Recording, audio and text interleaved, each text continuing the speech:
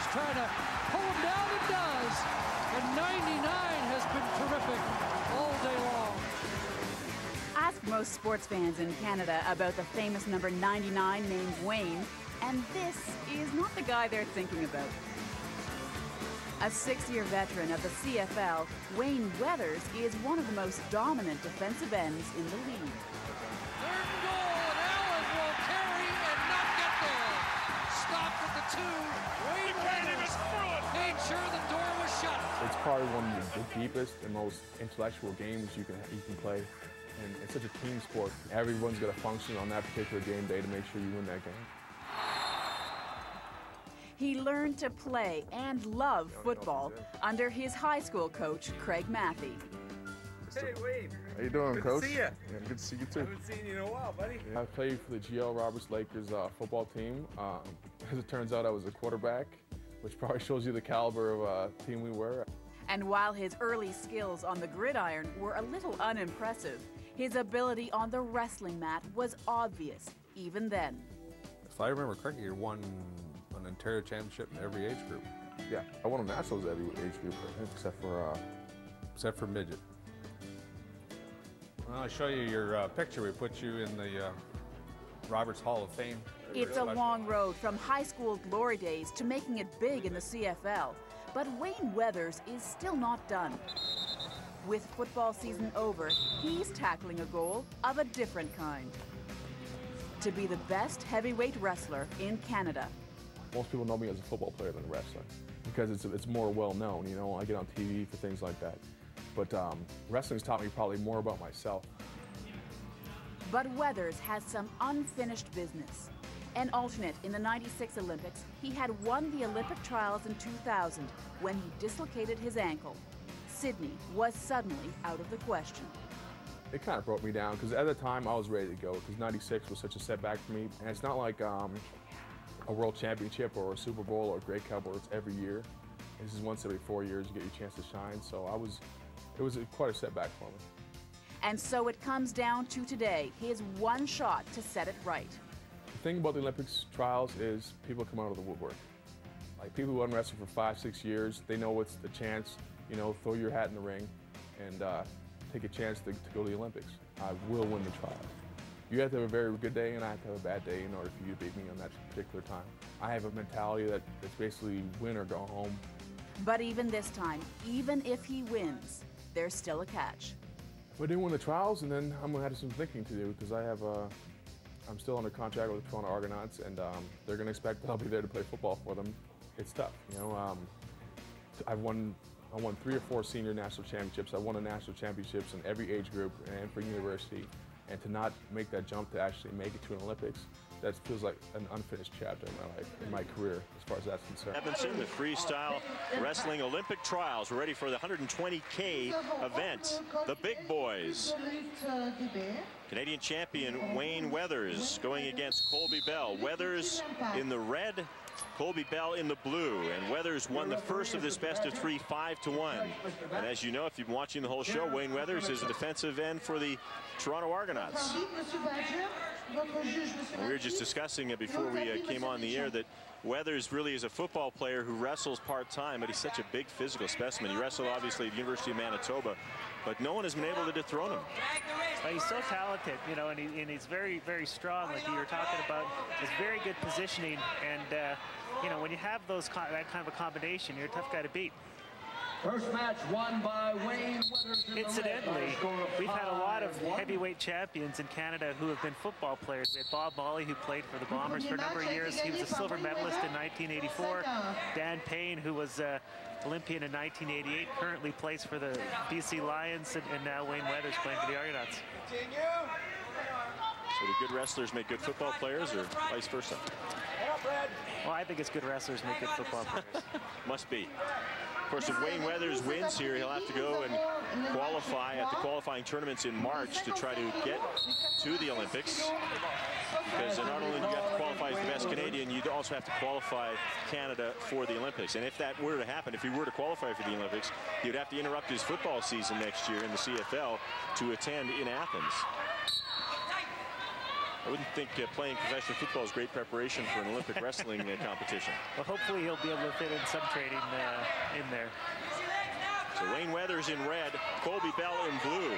Bell wrestles out of Edmonton for the Bears Wrestling Club, U of A, so you'd have to think there should be a lot of people here who are cheering for him, and he just couldn't quite get that one to go. Well, and that's an example of the strength and talent we were talking about with Weathers. You know, Bell had him in trouble, and Weathers was able to, to maintain that position, counter the gut wrench, and end up scoring two points in the process. Weathers played for Winnipeg for five seasons, last year in Toronto. See Bell, he's got it nice and tight, nice and strong. Weathers able to grab down there, keep the, the, the hip position here is what's most important. He didn't let his hips get over, he kept the hips flat the whole process and was able to counter. Weathers six foot four, 255 pounds. Not much of that is fat. Well, and the weight class is 120 kilograms. That means you have to be under 120 kilograms. Over the years, it's gone from unlimited to 130 kilograms, now 120 kilograms. So as a result, what you see are great athletes. Both of these guys, they're great athletes. They're strong. You don't see the sumo type wrestlers there here going out of bounds. Bell just a little bit sloppy. It looks like he caught something. Hard to tell if he was injured before he went out of bounds or as they were going out of bounds. See his coach Vang Ioannidis, who coaches the University of Alberta wrestling team going over to see how he is, getting some attendance there from the uh, medical staff. And the officials are checking the video replay on this too to see if it was one point or three points.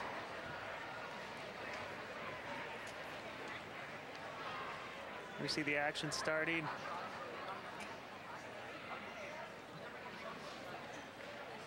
Hard to tell from that angle. It looked like uh, Colbie smacked his forehead on the mat as they were going out of bounds. Hard to tell if his back was exposed before his knee touched or not. Colbie's been around a long time, 32 years of age. He's a 1996 Olympian in Greco-Roman. He's a seven-time Greco-Roman national champion. Here, see from another angle, he's just got his head kind of stuck underneath there. Goes out of bounds, hits his head first, going out of bounds. And Wayne Weathers picks up two points on that, so he now has a 4-0 lead. And Colbie Bell will start in the referee's position. Well, the points were scored as they were going out of bounds, so they give Weathers the opportunity coming back to the center to try to turn Bell again. Weathers started a little early there, so they restarted.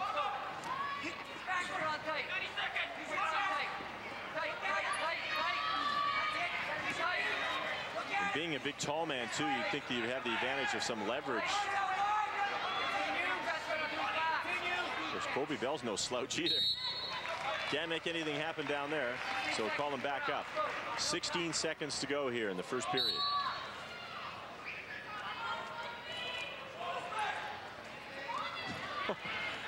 Weathers bouncing like a boxer. Is he Wayne Weathers or Carl Weathers? Seconds ticking down, nothing happening, and that's it. First period ends with Weathers ahead four to nothing. The funny thing about Weathers is he often looks like he's not even trying, and he he's so calm and, and matter of fact the way he approaches it. Well, and and that calmness and that confidence uh, showed through on the counter when he scored two points when uh, Colbie Bell was trying to gut wrench. Kept his composure, kept cool, didn't didn't worry about uh, about what Bell had, but he just focused on what he had to do, keeping his hips flat, and uh, was successful in countering that move. He went to the uh, Pan American Games this year, finished in uh, fifth place.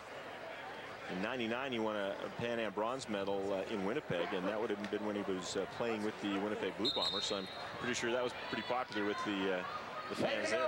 Well, for sure. Yeah, I mean, he's, he's a, a, huge fan favorite there. Wayne Weathers out in front of it. Four so Weathers 4 nothing lead here as they go into the second period of this match. Remember, Weathers won the first match of this best of three. So if he can hold on to this, he will get the victory. Again, that's where you're talking about the leverage. Use that, that long, strong leg to uh, to pop Bell off of his strong position. Colbie Bell was in nice and tight on that leg but Weathers used his positioning to pop him off balance, loosen the grip, and get out of the, the danger position. I imagine these two men would have met uh, frequently in the uh, CIAUs when they were both going to university. So I'm betting they know each other quite well. At the CIAU championships, at the National Senior Wrestling Championships, yeah, I they, they've wrestled a lot.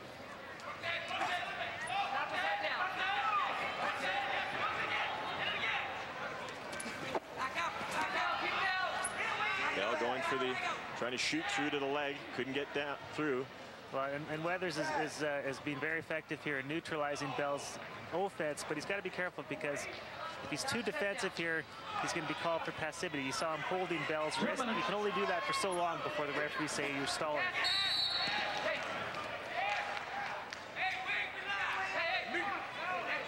Well, the referee indicating first he was going to give a point, but uh, looks like the the well, officials on the side disagree. On that attack, as Weathers came in, he hit Bell in the forehead and the nose. And what the referees were saying was Bell should have made more of an effort to stay in bounds. He went out of bounds. One more match well, the reason he went out of bounds was he was going to headbutt it as he was making that shot. So far, we have four matches. It's gone down the wire. He, uh, match. Here we see the attempt. Weathers going to shoot in here. Smacks him right in the One of those right in the nose. And he might have broke it because when when the uh, the attendant touched it. He really was smarting. Ah, he's going to go anyway. Broken nose or not. Less than two minutes to go.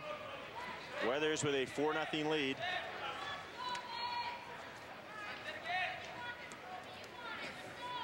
Colbie Bell's tried to make things happen here. He's, he's, shot through, tried for the leg takedowns, but, you know, it's so hard to get in on Weathers. He's so strong. Bell needs to move Weathers a lot more. He's making a lot of attacks from a stationary position.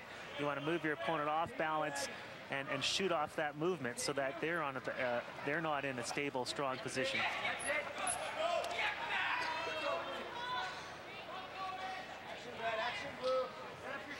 A lot of hand-holding going on in this match. Well, and like we were talking about, he's going to get penalized probably if he keeps holding on to that wrist because that's a real defensive maneuver.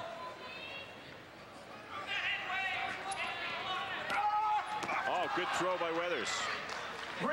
There's that leverage you were talking about again, too. Three points on that throw. 7 nothing lead now.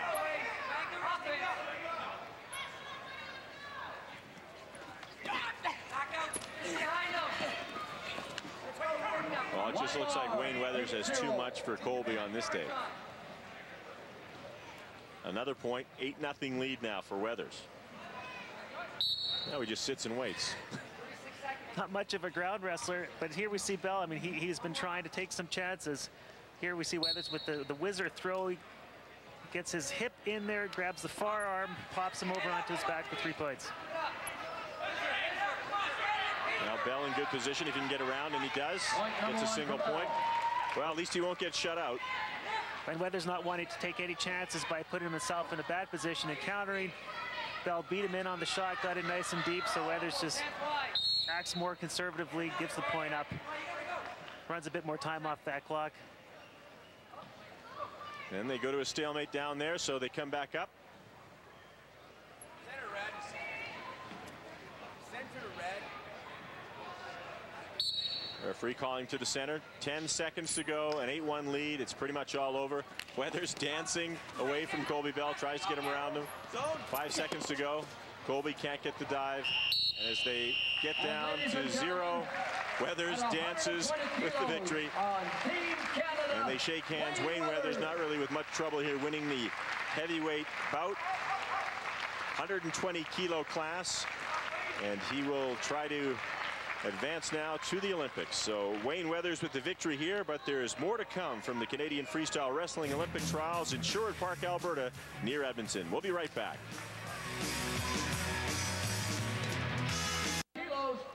Back at Millennium Place in Sherwood Park, Alberta, the Canadian Olympic Wrestling Trials. Wayne Weathers has got a shot at the Olympic Games in Athens, Greece, with a big victory over Colbie Bell. Uh, tell us about the win and your progress toward those games in qualification, Wayne. I mean, as far as the win goes, uh, I didn't have a lot of wrestling time after football season was over. That first match I had against him, I just trying to feel him out, see what I could do, get the rust off. And this match just went for it. I know this is a little bit of a bugbear for you because you were close last time around winning the Canadian trials and then had some trouble at the uh, World Trials to get to the Olympic Games. You're a bit of an unknown quantity internationally. Uh, what do you feel about this time and maybe making the grade? You know what? I'm not really worried about the Olympic Games right now. What I'm worried about right now, I just won the trials. It's my football season next year with the Toronto Argonauts. That's all I'm really worried about. This is secondary. Is, is it at all a concern that if you did make the Olympic Games, uh, that might interrupt your football season? I'm not even thinking about that right now. I'm just going to enjoy this right now and focus on the next thing. Great victory, Wayne. Good luck to you. Thank you. Wayne Weathers of Toronto, Ontario, the super heavyweight here, and still has a shot at the Athens Olympics. We'll continue on Sports Saturday from Spruce in a minute.